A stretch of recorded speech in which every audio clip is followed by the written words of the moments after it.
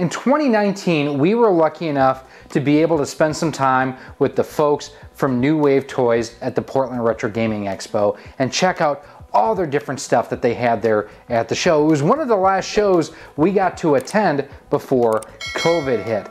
And since then, we've been lucky enough to be able to test out their Dragon's Lair arcade cabinet. And if you haven't checked out our video on this one here yet, I will have it linked for you right up there. But this thing, it looks great, it plays great.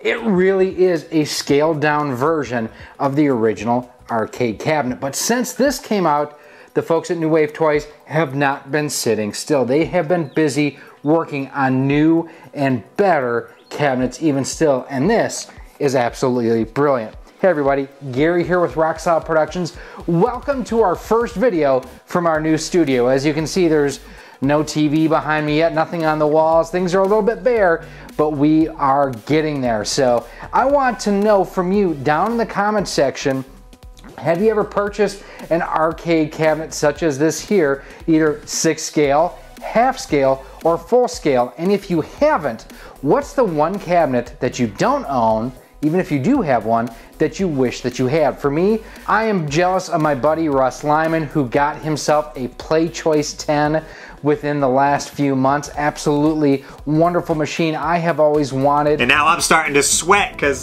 this thing is heavy, so I had to take my hoodie off. Were you breaking out the muscles? Russell, we need your muscles! Time to break out the gun show.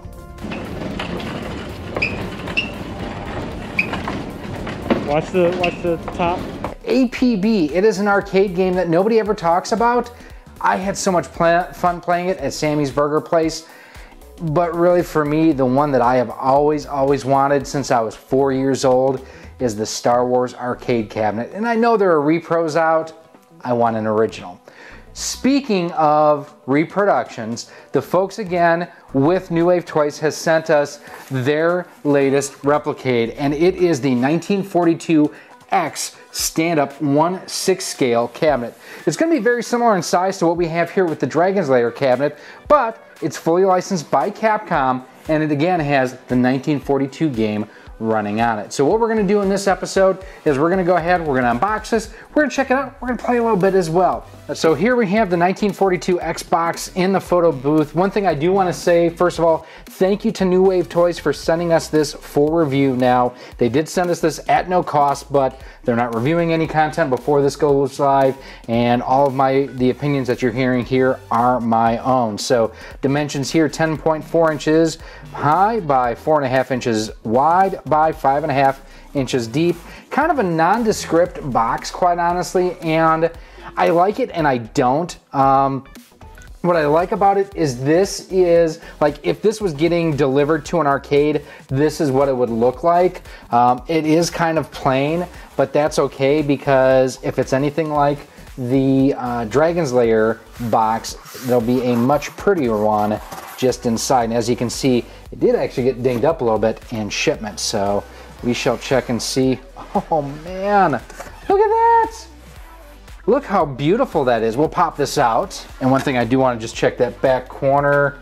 No, it did not get dinged up in transit. So uh, nice shrink wrap and everything on it. Beautiful artwork. Uh, 1942 and 1943 ROM on here. It looks, plays, and controls like the original.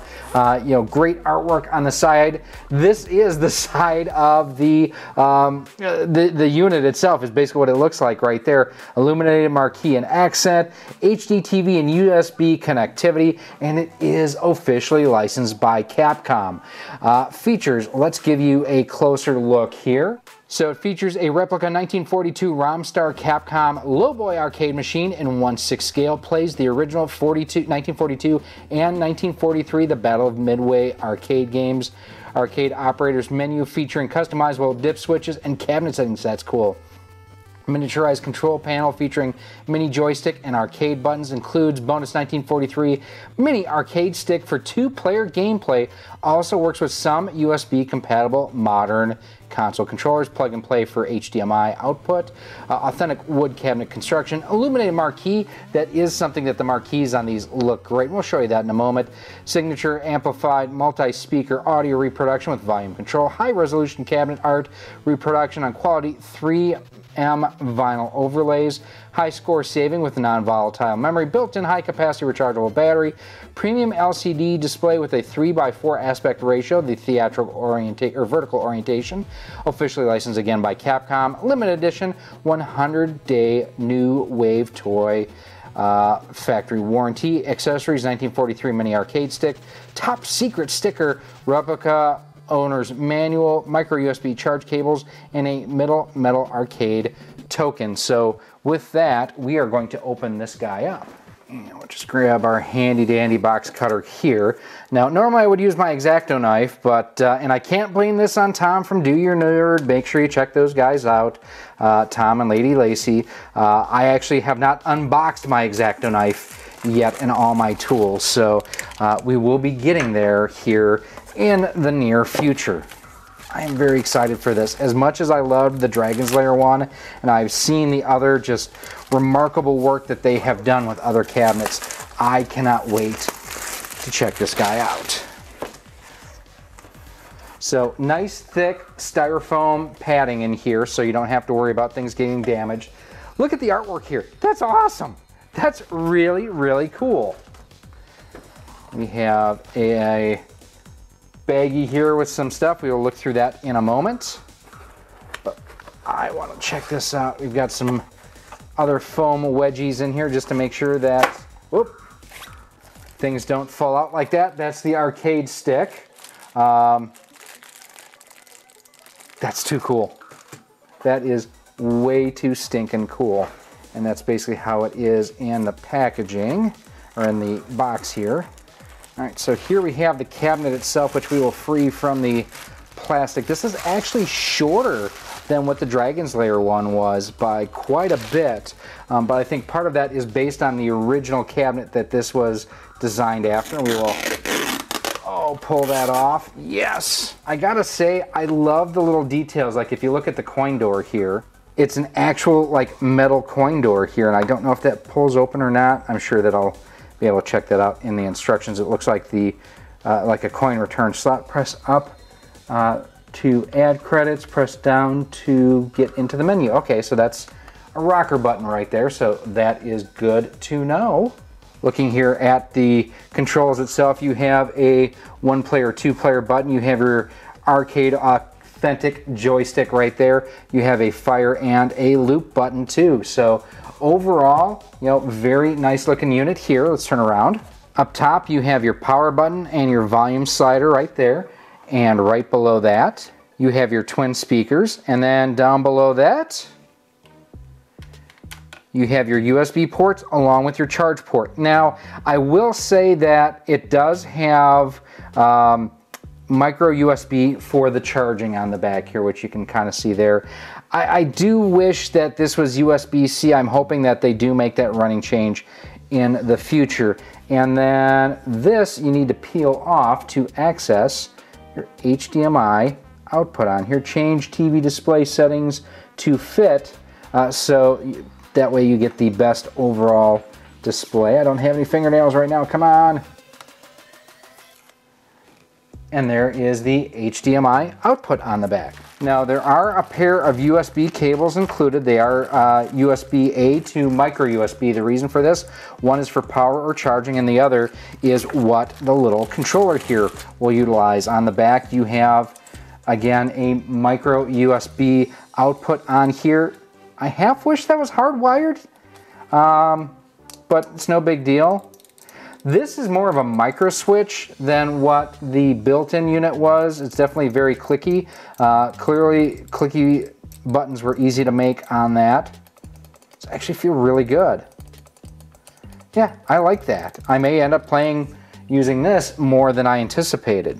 And then finally looking in our poly bag here, we have an instruction manual and if you take a look here, these are two stinking cool. You have your top secret instructions and you have tokens as well. That's just mwah, one of those wonderful things that New Wave Toys adds with all of their units.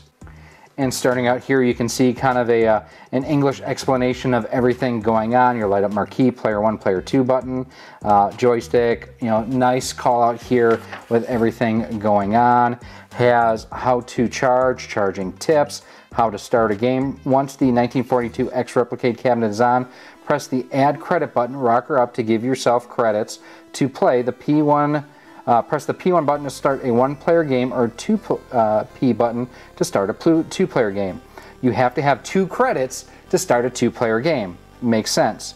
Use the joystick to fly around, hit the fire button to attack, and hit the loop special button to do special actions. To use external controllers and HD TV support. This is one of the things I want to check out. External controllers can be used to play your Replicade using the two USB ports on the back of the machine. Visit their website for a list of supported controllers. When both controllers are plugged in, hit start on the P2 controller to start a two-player game. Use the P1-2 switch in the menu to play a one-player game with an external controller. Do not unplug the controllers from the back during game. And then obviously uh, it walks you through what you need to do for HDMI output. It also has some really nice playing tips and whatnot to help you play in 1942 and 1943. Walks you through how to navigate the menu, uh, some caution, warranty information, and then from there goes to Spanish. So now before we start gameplay, one of the things I do want to do real quick is I do want to just compare it side by side with the Dragon's Lair cabinet for size comparison. So you can see the Dragon's Lair is a little bit taller than what the 1942 cabinet is. Um, the display also a little bit taller than what Dragon's Lair is. This is more of a widescreen versus this is very authentic to the arcade shmup type setup where it is a 3x4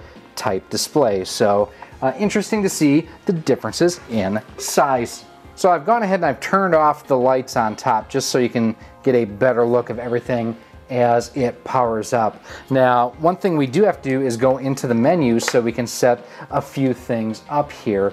Now, from the time you push the power button into when it actually does something, is a little bit of a long boot up process. I'd say uh, it was about 15 to 20 seconds before the marquee came up and before the display came up. Now to access the onboard menu, what you do is down below here as you press down, and now you can see all the menu items. And you can choose the game, either 1942 or 43, change the difficulty, you can change the marquee light, there the marquee is off, marquee's on, so you can turn that on or off to uh, change or extend your battery life. Change the backlight, I'm gonna bring it up a little bit here. P1, P2 switch, press any action button on. Replicate scan lines so you can turn scan lines on and off. Starting lives, bonus lift, and then you can see at the very bottom here it actually has a battery indicator. So uh, we're going to go into 1942 first. We'll insert a coin. This thing is loud. Holy cow, I'm going to turn it down. This is great. Now, it does not have rapid fire, and I am just, oh, and I am just using the little analog on the joystick here, so. And again, the whole thing is so that you can actually see without me having my grubby paws in the way. Buttons are very responsive. I'm digging it. Now, they did something similar to this with the, the external controller on Street Fighter 2, I want to say. Man, the audio just, it's spot on. Ah, did I get it? Yes. Oh, come on. Yeah, this is actually playing great. And, you know, this is one of those two that, ooh, I didn't see him coming.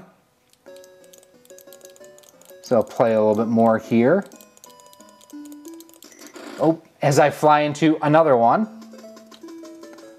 All right, gives me 43 that I shot down, my percentage 78, so pretty accurate. Today's top, 30%. So I'm gonna hit the down arrow and we're gonna go game selection. We're gonna change to 1943. And there you can see it changed the game. We're gonna add our coin. Press start.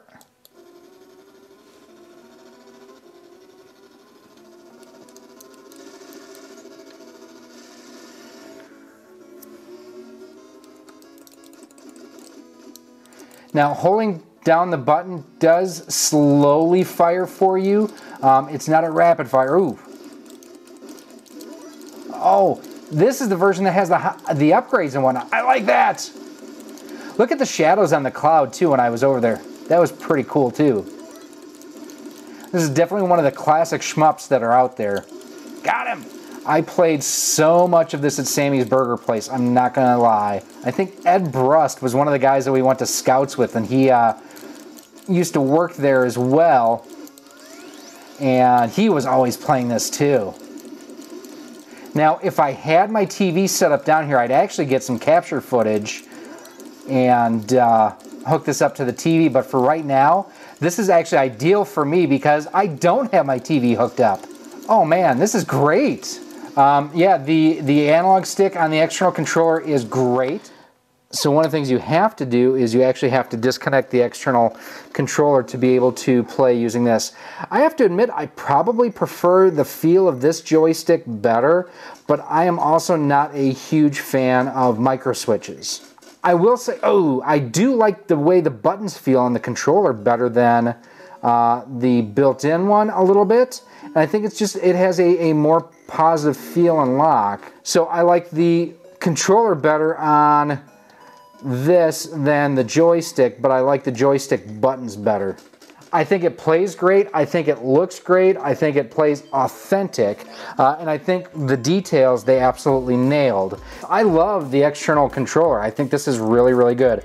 I like the buttons on here actually better than the ones that are built into the cabinet, but I'm not as big of a fan of the micro switch joystick as the joystick built into it. Um, I thought the ROM played great. It sounded great. It's loud too. That's the other thing. It is really loud. And the overall look and finish, I mean, this is a beautiful piece of art. Look at that graphic. That is something straight out of the 80s. Same with there. Um, now, it doesn't have some of the extra things that like the Dragon's Lair cabinet had because the real one didn't have the Laserdisc player and all that stuff. But overall, this is a fun conversation piece, something that is just, it's fun. That's at the end of the day, that's what it's supposed to be, is it's simply fun. And I'm glad to have this in my collection. Well, I will say there were a lot of surprises here, some good and some great. Um, first and foremost, I thought that there were going to be a lot of similarities in the cabinet itself between Dragon's Lair and 1942.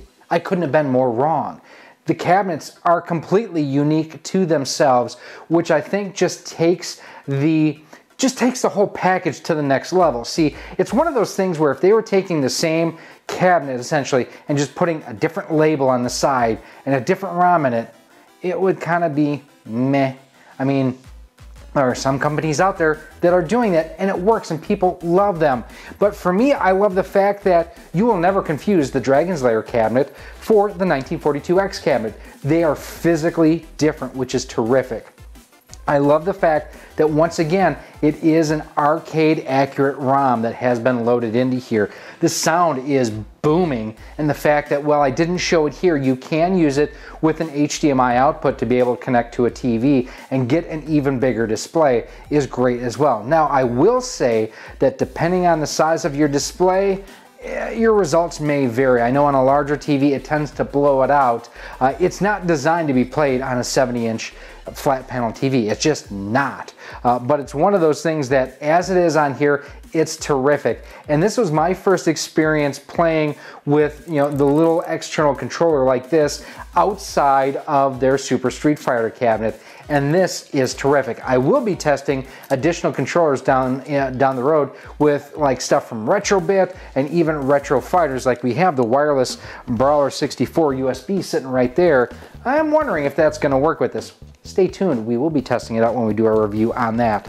The display is gorgeous, it's easy to go ahead, sit down, play, have some silly fun for a while, and then move on to something else. It's one of those things that, you know, you're not going to sit down and invest hours upon hours in these which is a good thing and a bad thing. This is the perfect thing for a casual gamer who just wants to go ahead, get their shmup fix, get in, get out, and move on to something else. But there's enough here that if you want to sit and play for half an hour, 45 minutes, an hour, you can do so and not be worried about straining your eyes or, or having an overall bad experience. I did like the buttons better on the separate controller than built into the cabinet, but I like the joystick built into the cabinet better than the micro switch here. Different strokes for different folks, I'm sure. But overall, the fit, the finish, the construction, the overall performance of this, this is outstanding. And if you are a fan of 1942 or 1943, this is something I highly recommend that you check out. I will have a link down below in a pinned post where you can pick these up straight through New Wave Toys. Again, thanks to them for sending us one of these for review. And if you want a really cool accessory to go with these two, they have these awesome mats that look straight out of the roller rinks from the 80s that you could have that you would sit this on. They also have the change machines that are actually power banks too pretty stinking cool. Now, if you do have any other questions or comments, as always, feel free to leave them down below in the comment section. You can also go ahead and email me at rocksolidmail at gmail.com. Send me a message on Twitter at Rocksolid Studios. We are on Facebook at facebook.com slash rocksolidproductions and Instagram at instagram.com slash rocksolidproductions GK. And as I mentioned at the top of this video, do me a huge favor, hit that subscribe button and that bell notification. We have a lot of work to do on this blank canvas back behind me.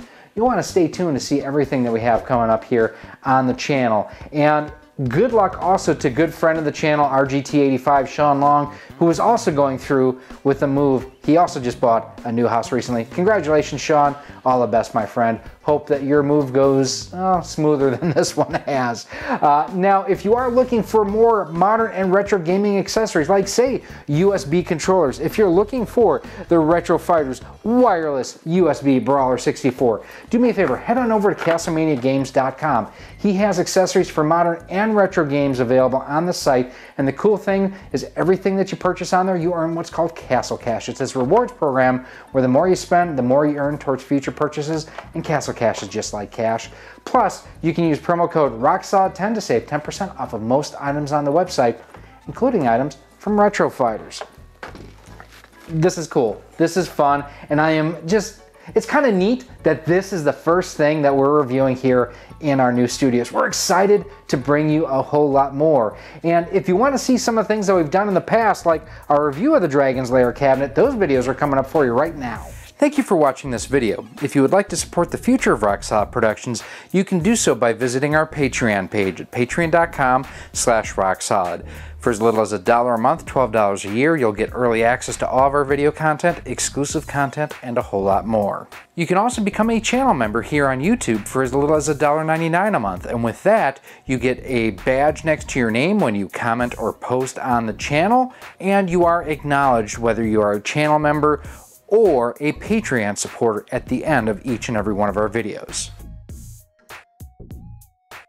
You can also support the channel by visiting our Teespring store on screen now, where we have t-shirts, sweatshirts, hoodies, masks, cell phone cases, and much more. Again, thank you for watching, and I hope to see you soon.